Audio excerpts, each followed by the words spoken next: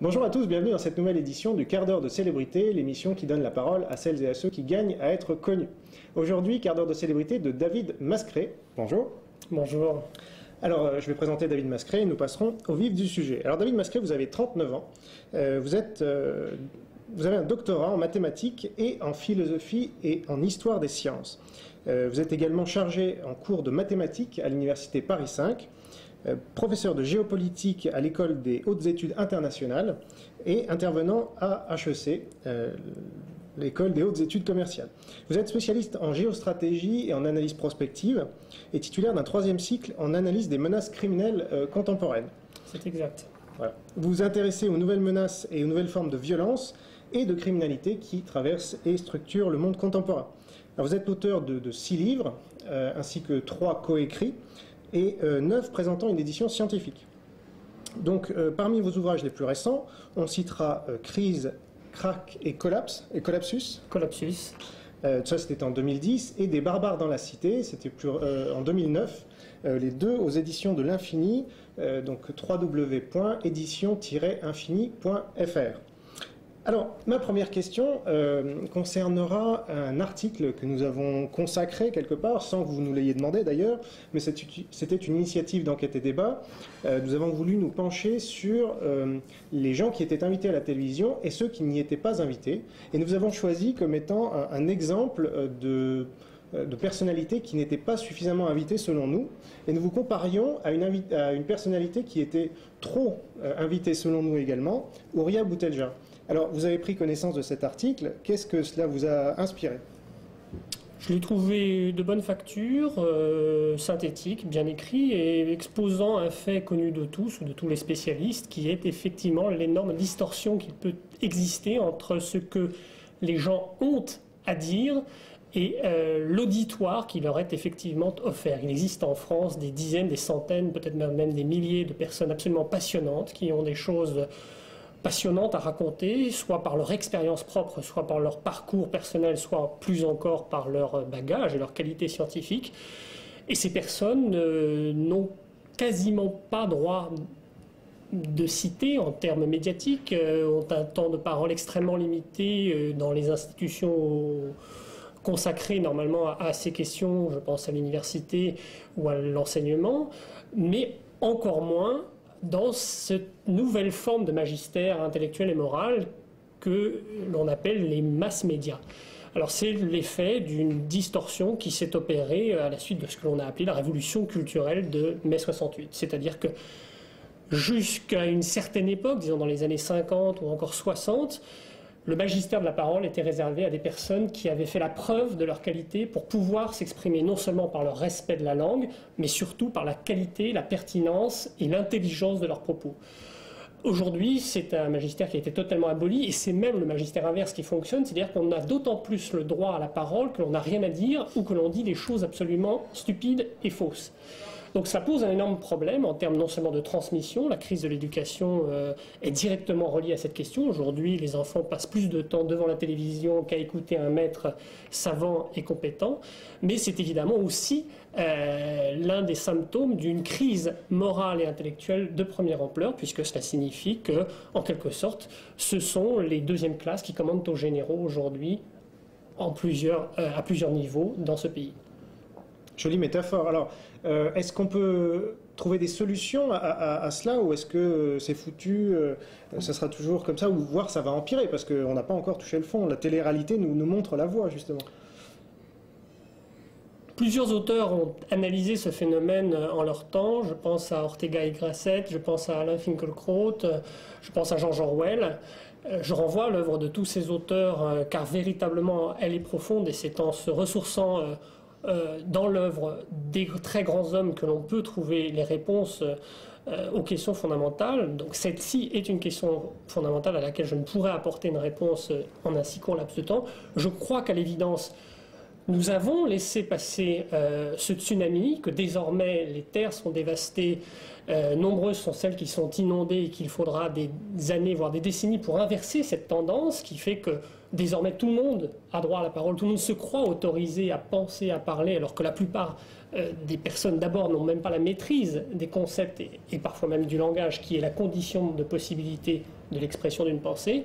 Donc c'est par ces fondamentaux qu'il faut recommencer. Cela s'appelle le rétablissement des hiérarchies dans l'institution scolaire, le rétablissement de l'excellence dans l'université et dans le monde de la recherche, et puis bien évidemment à la tête de l'État, dans les différentes instances qui sont censées incarner ces missions régaliennes, eh bien la mise en place de personnes qui euh, soient reconnues pour leur excellence, pour leur qualité première de chef d'État ou en tous les cas, de politique dévouée au bien commun. Très bien. Alors, euh, passons à votre euh, production euh, intellectuelle, et notamment toute la partie que vous résumez dans, le livre des barbares dans la cité. nous avons connu ces dernières semaines, il faut dire, des violences assez inhabituelles, malgré tout, en France depuis quelques dizaines d'années. Donc, on va dire un regain de violence. Euh, comment est-ce que vous l'analysez? Est-ce que pour vous, comme certains, euh, on est en pré-guerre civile, voire, euh, voire pire, ou bien est-ce que c'est dans le mouvement naturel des choses en France, qui est un pays, comme on le sait, où les violences, malheureusement, sont, sont assez présentes? Alors précisément, c'est la première remarque que je ferai, ce n'est pas un regain. La violence aujourd'hui est devenue un phénomène ordinaire, pour ne pas dire banal, dans un certain nombre de régions de notre pays. Euh, ce qui change, c'est euh, le focus apporté précisément par les masses médias sur ces violences. Euh, on est frappé, lorsque l'on étudie ces questions de près, de voir à quel point la plupart du temps, les vols, les agressions physiques, les enlèvements, les séquestrations, les tentatives d'intimidation, parfois plus gravement les incendies ou les assassinats, se font dans une indifférence générale et en soulevant assez peu finalement l'attention et des médias et a fortiori des spécialistes de, criminalité. En tout cas, un énorme problème est aujourd'hui posé par le fait que euh, la lecture, le tropisme journalistique est essentiellement un tropisme euh, sociologique, euh, marqué, teinté par une politique de l'excuse et qui donc systématiquement passe à côté de l'explication profonde de ces phénomènes. D'où effectivement une distorsion réel entre la réalité non seulement ressentie par les populations, question du sentiment d'insécurité, mais l'insécurité effectivement subie par ces populations pour lesquelles, pour un très grand nombre, c'est une réalité quotidienne. Alors ça, c'est le premier point sur lequel il me semble qu'il fallait apporter un éclairage. C'est le constat. Ce qui, par contre, apparaît avec force, c'est que à certains moments, pour des raisons politiques, institutionnelles, sondagières, eh bien, un focus est porté sur un événement, ou bien un événement cristallise à lui seul l'ensemble des dysfonctionnements d'une société. C'est ce qui s'est passé pour l'affaire Ilan Halimi, et c'est la raison pour laquelle j'ai essayé de me pencher sur cette affaire absolument horrible qui a véritablement euh, saisi les esprits. C'est un des crimes majeurs de ces dix dernières années et ce n'est pas un hasard si 200 000 personnes se sont senties obligées de descendre et de défiler dans la rue pour montrer leur indignation, mais des cas en quelque sorte de violence aussi barbares, ou en tout cas se terminant de façon aussi tragique, on en a régulièrement chaque année en France. Et c'est ce que j'ai essayé de montrer du reste au début de mon livre, pour montrer qu'il y avait là un phénomène de cristallisation qui était particulièrement marquant, mais qui ne devait pas être l'arbre qui cachait la forêt. Donc je crains qu'hélas, euh, ces phénomènes liés à une désagrégation du tissu social et surtout du sentiment d'unité qui théoriquement doit nous habiter en tant que Français habitants d'une même patrie héritiers d'une même histoire, eh c'est précisément cela qui est mis à mal aujourd'hui par ces violences qui, bien évidemment pour certaines, relèvent de la pure criminalité euh, et du grand banditisme, mais qui pour d'autres véritablement témoignent d'une désagrégation du lien social, d'un refus pour certaines catégories de la population d'être associées au projet que porte la France depuis deux millénaires, et pour d'autres, une manière euh, directe, en quelque sorte, de prendre le pouvoir là où il se trouve, en, en, quelque sorte en cadastrant le territoire, en le maillant et en intimidant les populations qui sont sous leur coupe. C'est ça, c'est-à-dire que pour vous, il n'y a pas ce qu'on a vu à Grenoble ou à Saint-Aignan récemment, pour vous ce n'est pas le signe d'une pré-guerre civile, comme le, comme le disent certains, pour être là assez précis. Le terme de guerre civile est un terme qu'il faut manier avec d'extrême précaution. D'abord parce que hum, l'histoire montre que la guerre, à la fois, n'est jamais un événement certain, ni un événement que l'on peut exclure. Deuxièmement, les guerres civiles sont des épisodes extrêmement troublants et traumatisants dans l'histoire des populations qui laissent des empreintes particulièrement profondes. Alors il est certain que la France est un pays, si on la prend dans la longue durée, qui est particulièrement enclin aux guerres civiles. Je ne récapitulerai pas, mais des guerres de religion jusqu'à la commune de 1870 ou à l'épuration de 1945, voire même mai 68, qui auraient pu basculer dans une situation de guerre civile. Euh, la France est un pays marqué par ses traditions. Je renvoie à l'ouvrage de Jacques Marseille du bon usage de la guerre civile en France. tout un ensemble d'auteurs, euh, Renan et d'autres, ont essayer, précisément après ces traumatismes de 1848, de 1871, de reconstruire le pays autour de l'idée d'unité. Même quelqu'un comme Mitterrand euh, avait cette passion de l'unité française, conscient qu'il était que les Français non seulement étaient un peuple gaulois à tout moment prêt à s'empoigner pour euh, un plat de lentilles, mais plus profondément traversé de profonds clivages et que cette notion de cohésion nationale était un, une condition de survie même des individus qui aujourd'hui peuvent euh, se glorifier de porter le nom de français.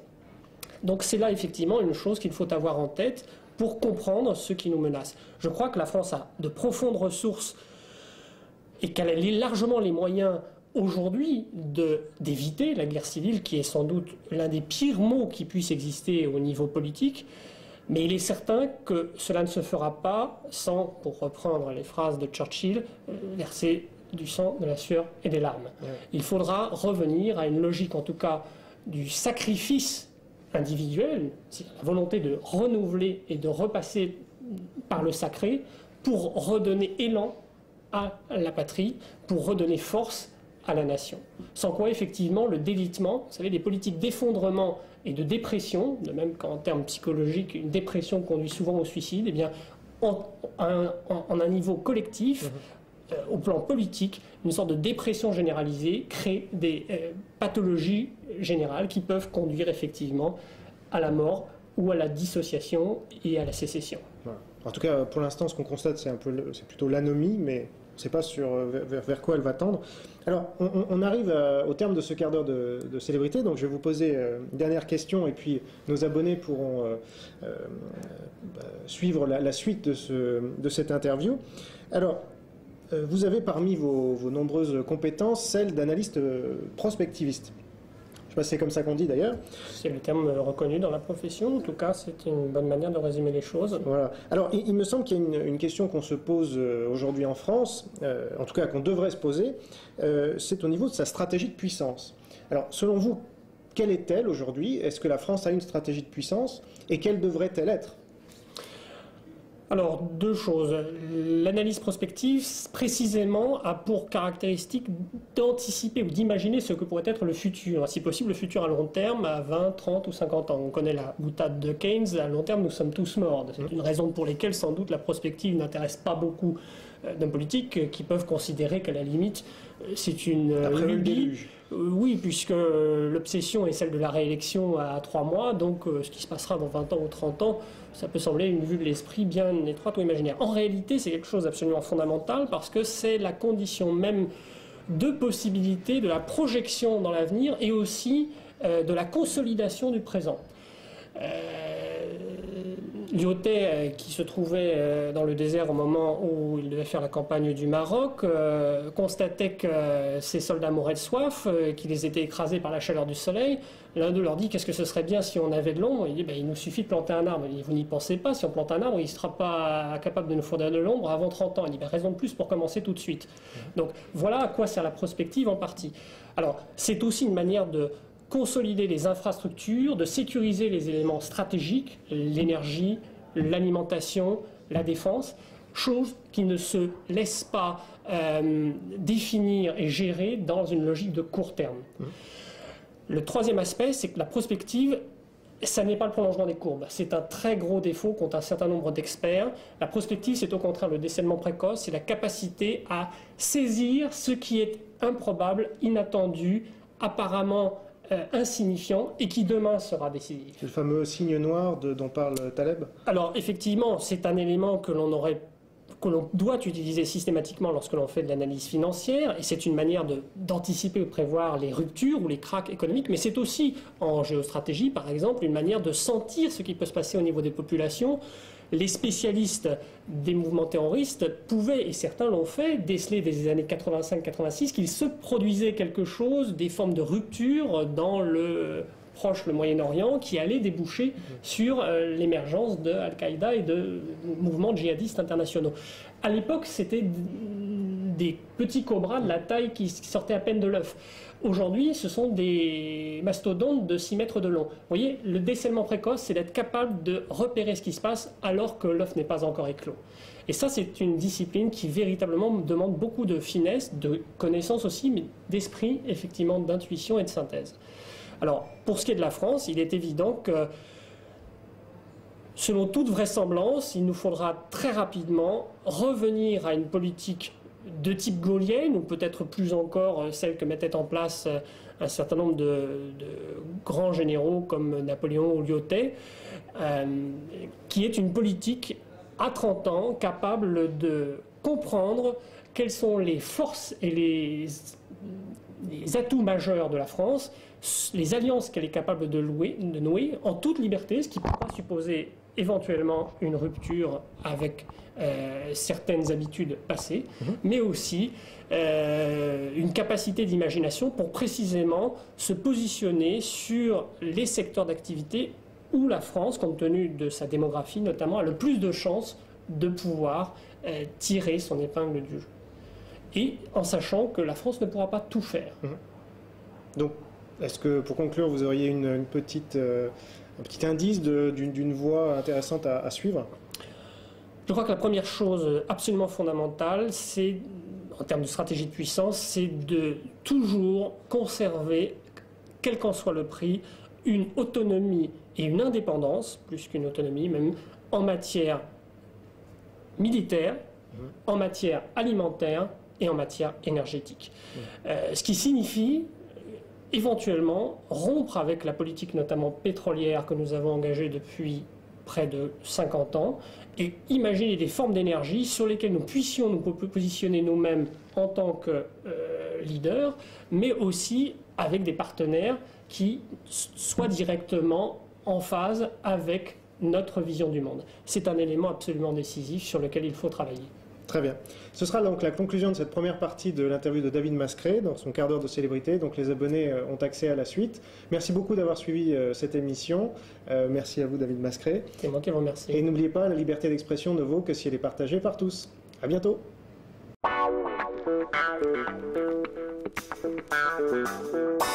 Donc, nous allons pouvoir continuer cette discussion fort, fort, intéressante que nous avons entamée dans ce quart d'heure de célébrité en parlant des États-Unis. Euh, donc la, première puissance mondiale au moment où nous enregistrons euh, ce, film. Est-ce que, comme on l'entend beaucoup dans certains milieux, euh, les États-Unis sont si affaiblis que cela? Ce sera ma première question.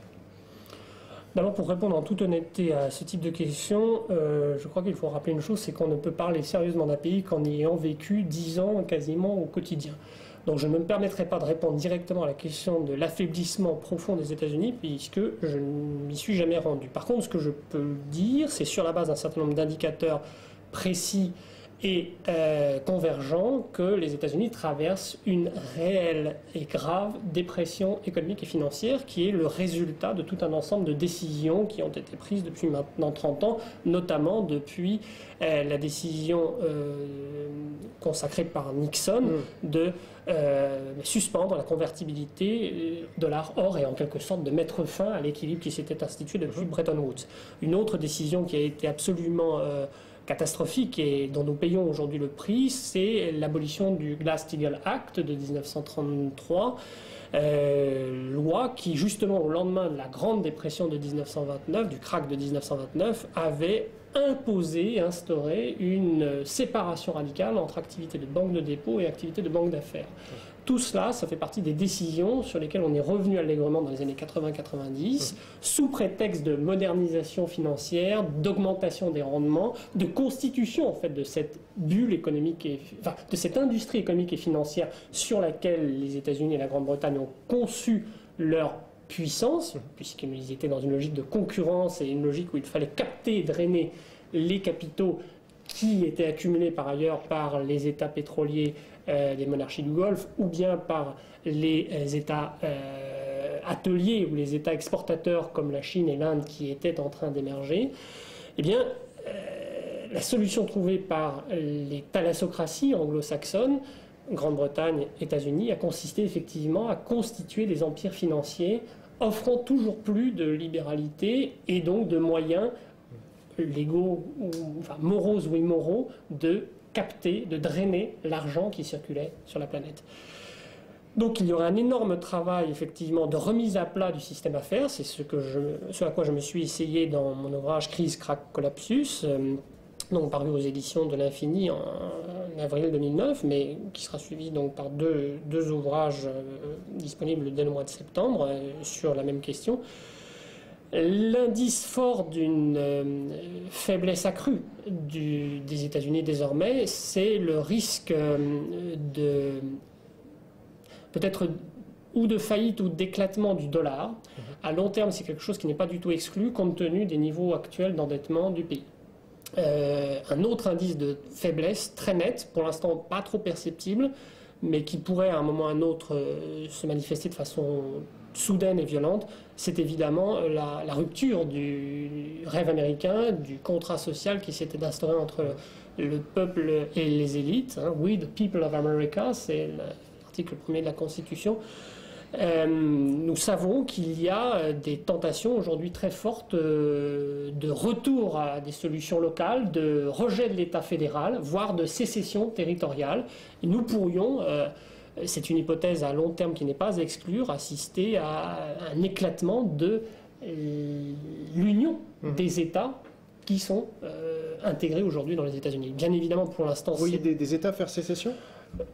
Ce que l'on observe en Europe, en quelque sorte, euh, d'une manière indirecte, avec des phénomènes comme la Flandre et la Wallonie, avec des phénomènes comme la Catalogne et la Castille, ou de façon plus profonde et grave encore euh, pour la Yougoslavie, euh, entre le Kosovo, la Serbie et, antérieurement la Croatie et la Bosnie, eh bien, ce sont des choses qu'on ne peut pas nécessairement exclure euh, à long terme pour un, pays continent doué de richesses incontestables, mais qui, au gré de crises répétées, qu'elles soient économiques ou, ou, plus gravement encore peut-être agricoles, ce qui pourrait arriver en cas de difficultés climatiques, eh bien, pourrait effectivement euh, voir euh, se briser en quelque sorte ce, pacte fondateur qui avait donné naissance en 1776 aux États-Unis d'Amérique. Est-ce que ce n'est pas une vision finalement euh, un peu pessimiste? Parce que ce qu'on voit, c'est qu'au niveau d'Internet, ils ont les plus grands les plus grandes entreprises mondiales qui vont être dominantes, des entreprises comme Facebook, Twitter, Google, euh, j'en passe, et, Apple, etc. Tout ça, c'est américain et ça définit le, nouveau continent qui est Internet et qui prend de plus en plus d'importance en termes de puissance également. Donc. Oui, alors ça, c'est un raisonnement qu'on a vu euh, fleurir et largement reproduit durant la décennie de la mondialisation dite heureuse, entre 1990 et 2000, en disant finalement, votre niveau de vie augmente de façon considérable parce que même si le prix de votre baguette de pain a été accru de 50%, on a vu diminuer le prix des ordinateurs des consoles de jeux et de l'accès à Internet par 5 ou par 10. Donc votre niveau de vie s'est amélioré. Oui, la seule chose, c'est que le, jour où il y a une famille, vous n'allez pas vous mettre à manger des ordinateurs euh, et ça vous fera une belle jambe d'avoir 5 euh, télévisions, euh, une dans chaque aquarium ou une dans chaque pièce. Donc là, on est typiquement, effectivement, dans cette idée de division internationale du travail, où grosso modo, on allait avoir des pays du Sud qui allaient produire indéfiniment et à volonté la nourriture, les pays du Nord qui allaient faire la haute technologie, et puis la Chine ou l'Inde qui allait faire l'industrie de main-d'œuvre et être l'atelier du monde. Je crois profondément que nous risquons, et la logique des patries, la logique des civilisations, c'est précisément de revenir à leurs fondamentaux. Nous irons vers des oppositions de plus en plus marquées le jour où les intérêts stratégiques de ces pays continents seront en jeu. Et donc, euh, il ne faut pas du tout exclure euh, une crise sur ces secteurs stratégiques de l'énergie ou de l'alimentation. Il est certain, vous avez raison, de dire qu'il existe aujourd'hui tout un ensemble de domaines dans lesquels les États-Unis ont consolidé leur leadership, leur hégémonie, et ont pris une avance considérable. Vous n'avez pas cité le domaine spatial, qui est un domaine absolument vital, et qui aujourd'hui euh, donne une quasi-suprématie militaire et civile aux États-Unis sur l'Europe notamment. Donc, en ce sens, vous avez raison, les euh, États-Unis ont des cartes en main qui sont extrêmement fortes. La question est de savoir comment ils les utilisent. Mhm. Bien. Euh, alors, parlons, euh, parlons un peu de, des questions qui fâchent, parce que finalement, on est en France aujourd'hui, tout va bien, on est en paix, mais il y a des phénomènes peut-être insidieux qui se développent euh, et certains euh, alertent euh, à gauche, à droite, en haut, en bas. Quelles sont selon vous les, menaces qui pèsent sur notre, sur notre pays? Alors vous avez raison d'employer le pluriel parce qu'il n'y a pas une menace, mais il y a des menaces qui aujourd'hui pèsent lourdement sur la situation de la France. La première, que j'englobe sous un terme général, euh, c'est la perte d'indépendance. Je crois profondément que euh, la France euh, n'est aussi forte et aussi belle que lorsqu'elle est libre et lorsqu'elle est pleinement maîtresse de son avenir, de son destin, de ses moyens de projection.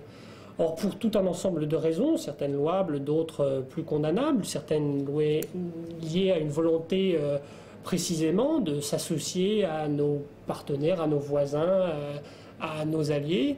D'autres peut-être liés à des formes de lâcheté ou de renoncement par rapport à ce qui était la vocation propre de la France, eh bien, nous ont conduit à, en quelque sorte, euh, euh, externaliser ou sous-traiter une partie de ce qui fait théoriquement les prérogatives régaliennes d'un État. Je pense notamment à la question de la défense, mhm. je pense bien évidemment à la question de la sécurité alimentaire et euh, des approvisionnements stratégiques liés euh, notamment à notre insertion dans le marché commun et à la, disons, à la dénaturation, à la manière dont celui-ci s'est transformé au fil du temps. Il n'a plus grand-chose à voir dans son fonctionnement actuel avec ce qu'il était dans le pacte fondateur de l'Europe des 6. Et cette question liée à la politique agricole commune qui devait précisément permettre une mise en commun des intérêts des six pays fondateurs avec pour contrepartie un tarif extérieur douanier commun élevé et puis euh, une garantie sur les prix, une sécurisation des approvisionnements pour en permanence avoir les réserves alimentaires qui permettraient d'alimenter et de nourrir les populations en cas de crise, eh bien, c'est une perspective que l'on a eu tendance à perdre de vue. Je ne mm. cite qu'un exemple. Bien évidemment, il y a derrière cela aussi la question de notre relation avec l'Afrique. À l'époque, il restait encore un vestige de l'Empire. Euh, aujourd'hui, tout cela a disparu et nous sommes dans une configuration totalement différente. Mais il est certain que cette arrière-plan qui permettait de disposer d'une arrière-cour au Sahara, de disposer euh, de ressources importantes en Afrique occidentale, en Afrique équatoriale, eh bien, ont, été en quelque sorte euh, abandonnées pour des raisons certaines louables, pour des raisons pour beaucoup plus critiquables. En tout cas, toujours est-il qu'aujourd'hui elles sont exploitées par d'autres puissances et que ce ne sont plus nécessairement les acteurs français qui sont en position de force hmm. dans ce domaine. Donc première menace, enfin une des menaces, la perte d'indépendance, je crois, et d'indépendance. D'indépendance et de souveraineté, c'est une question absolument hmm. clé. Liée à celle-ci, évidemment, euh, la question de la définition du projet que nous voulons nous-mêmes nous donner pour l'avenir et de ceux avec qui nous voulons le mener. Donc c'est la question en quelque sorte de l'identité et de l'affirmation en quelque sorte de ce plébiscite quotidien. Renan définissait les nations comme un plébiscite du quotidien, mais pour qu'il y ait plébiscite, il faut qu'il y ait un projet ou une question sur laquelle on soit amené à offrir le plébiscite. Or, la question n'est plus posée aujourd'hui. Et mieux, non seulement n'est plus posée, mais aujourd'hui, on enseigne à nos petits, qu'ils soient d'ailleurs euh, de filiation ancienne ou bien qu'ils soient fraîchement arrivés, une sorte ou d'ignorance de ce qu'est la France dans sa continuité, dans sa grandeur, voire de mépris euh, voire pire, de diffamation et de stigmatisation de ce qu'a été euh, la, grandeur de, de la France. Donc je crois que là, c'est la question de la crise morale. Il y a un travail énorme à, accomplir, euh, des fils à renouer pour précisément que ceux qui peuplent aujourd'hui le territoire de la nation française euh, puissent se sentir partie prenante d'un élan commun, d'une dynamique euh, collective et fiers, en un mot, d'être français. D'ailleurs, ce que, vous dites se traduit dans la démographie, qui est essentielle euh, dans, tout pays. C'est-à-dire qu'on voit quand même, euh, on recevait ici même euh, Yves-Marie Leland qui nous expliquait que les, femmes maintenant, elles travaillent et donc s'intéressent plus vraiment au fait de, faire des enfants, ce qui est quand même un problème. Alors nous touchons là effectivement à l'un des éléments clés à la fois de ce que l'on peut appeler la, la politique de long terme, nous n'avons pas compris, ou en tout cas un certain nombre de politiciens peut-être pris par d'autres idéologies ou par des contraintes électoralistes, n'ont pas saisi quelle était la profondeur de l'enjeu de la natalité et donc de la politique euh, de facilitation de l'avortement dans laquelle nous nous sommes engouffrés depuis 35 euh, ans, tête baissée. Eh bien, euh, cette conséquence au nom, au nom d'une, entre guillemets, conséquence elle-même de l'idéologie de mai 68, au nom d'une émancipation de la femme, d'une libération euh, des hédonismes singuliers, et finalement du jouir sans entrave euh, et sans temps mort, eh bien, a eu une conséquence effectivement euh, dramatique et décisive, qui est un tarissement en quelque sorte de la natalité ou de la fécondité de ceux qui étaient les porteurs de cette culture française et donc une difficulté dans la transmission puisque la famille est l'une des instances premières et clés de cette transmission. Mmh. Et quoi qu'on veuille, quoi qu'on dise, il est évident qu'il euh, existe des concurrences entre les peuples, entre les zones géographiques qui s'expriment notamment par la démographie. Et mmh. si les Français ne font plus d'enfants, eh bien ce sont d'autres qui les feront à leur place. Et ils les font déjà. Euh, la, question, en tout cas, doit singulièrement être posée si l'on veut comprendre euh, quelle est l'importance de cet enjeu effectivement de euh, la natalité. Et donc, je rebondis sur cette question mmh. pour finalement de l'avortement et de la, la fécondité. Il y a profondément lié à cette crise morale, je crois, euh, une incapacité aujourd'hui des hommes et des femmes à se comprendre et à s'aimer. Mhm. Ça, c'est un vrai drame français, peut-être européen. Euh, L'Europe a été euh, une très grande civilisation par sa capacité à promouvoir la femme, à l'élever dans, dans une dignité absolument sublime. Europe, d'ailleurs, le nom d'une déesse féminine. Euh, la figure de la Vierge Marie est absolument décisive puisque les douze couronnes, des douze étoiles qui mhm. constituent euh, la, couronne de euh, l'emblème européen sont directement liées aux douze étoiles qui, sont citées dans le texte de l'Apocalypse. Et là aussi, on sait le nombre de, de monastères ou d'églises qui sont dédiés à Notre-Dame et qui ont en quelque sorte tapissé d'un blanc manteau l'ensemble de l'espace européen voilà, l'invention de la femme est une vraie spécificité mm. européenne et chrétienne. Et je crois qu'il y a là quelque chose de très profond à repenser si nous voulons que cette relation à la fois sublime et tout à fait singulière de l'homme à la femme dans le règne animal, chez les êtres humains, eh bien, reprenne sa puissance, reprenne sa dimension et, et permette à chacun de donner le meilleur de lui-même. Alors, je dirais pour conclure, euh, et moi, il me semble qu'il y a une dernière menace, et d'ailleurs, euh, vous m'avez tendu la perche, euh, c'est, vous parlez de l'avortement, mais, ne serait-ce qu'un débat sur l'avortement aujourd'hui est complètement interdit. Donc il me semble qu'une menace, c'est la mort de l'esprit, l'esprit critique, la possibilité de se pencher sur les faits tels qu'ils sont et de dire est-ce qu'une politique aujourd'hui qui favorise en effet l'avortement, sans vouloir revenir sur son interdiction, mais en tout cas, comme vous l'avez dit, euh, le favoriser, le subventionner, euh, c'est interdit dans, dans l'espace public et dans les têtes même. Nous sommes devenus nous-mêmes nos propres policiers de la pensée. Alors, euh, est-ce que c'est pas là aussi une... Oui, là nous rejoignons quelque chose alors qui, s'appelle le terrorisme intellectuel, tout simplement. Jean Sévillard a écrit euh, des ouvrages remarquables sur la question, d'autres euh, avant lui. Jean Jean Well l'avait analysé avec une finesse exquise et, sublime. cela provient notamment eh bien, du renoncement à notre propre, en quelque sorte, idiosyncrasie, à notre propre héritage, à notre propre spécificité. La France a toujours été un pays très nataliste, un pays qui a toujours été généreux en quelque sorte de ses hommes et il était généreux parce que précisément il était capable de transmettre. Le fait que nous ayons renoncé à la transmission et que nous ayons accepté en quelque sorte des euh, dictates ou des injonctions à ne parler sous aucun prétexte de tel ou tel sujet ou à n'en parler que dans telle et telle perspective, c'est déjà l'un des pardon, l'un des symptômes les plus euh, manifestes de la crise morale et spirituelle que traverse la France et plus généralement l'Europe. Très bien, ce sera la, conclusion euh, de ce passionnant euh, échange, en tout cas je l'espère pour vous. Je vous renvoie aux, éditions euh, de l'infini dans lesquelles David Mascret écrit ses livres, qui sont vraiment d'un haut niveau. Et euh, je dirais, c'est très, euh, étant éditeur moi-même, je sais que c'est très courageux de, participer à une maison d'édition indépendante aujourd'hui, euh, en essayant de, justement, en, illustrant ce que vous disiez tout à l'heure, en restant indépendant des différents grands groupes, y compris, et en développant là votre propre pensée. Je ne suis qu'un modeste auteur, mais je crois que l'indépendance d'esprit est une des conditions même de la liberté. Parfait. Excellente conclusion. À bientôt et parlez de, de cette interview autour de vous. Au revoir. Au revoir.